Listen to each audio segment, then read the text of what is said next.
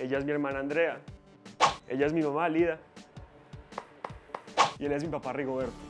Y yo soy Samuel Martínez Álvarez y bienvenidos a mi casa. Yo quiero estudiar medicina.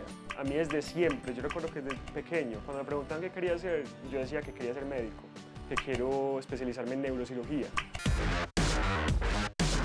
A mí siempre me ha ido bien académicamente en el colegio, entonces por ese lado también iba preparado.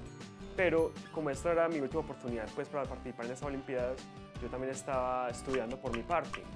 Eh, yo tengo unas cartillas, tengo mucho libro que se enfoca pues, en muchos temas que uno ve en bachillerato y en el colegio. Entonces yo comencé a leerlos y a hacer talleres para poder prepararme.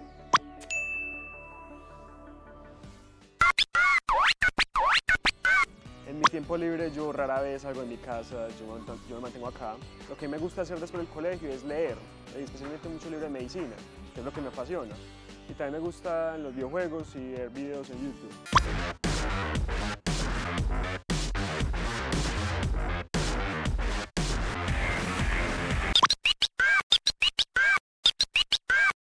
Estoy en la final de Olimpiada del Conocimiento porque es el momento de escribir mi futuro.